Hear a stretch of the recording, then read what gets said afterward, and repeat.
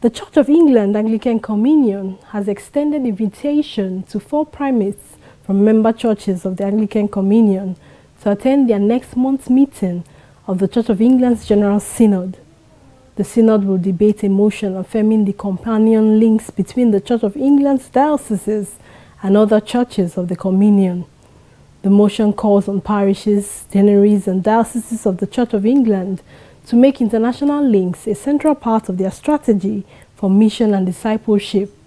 and it asks dioceses to use companion links to maximize their contribution to the hospitality program prior to the Lambeth Conference, which is due to take place in 2020.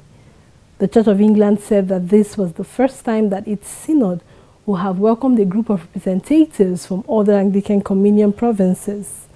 The invited primates are Archbishop Moon Hing, Bishop of West Malaysia and Primate of Southeast Asia,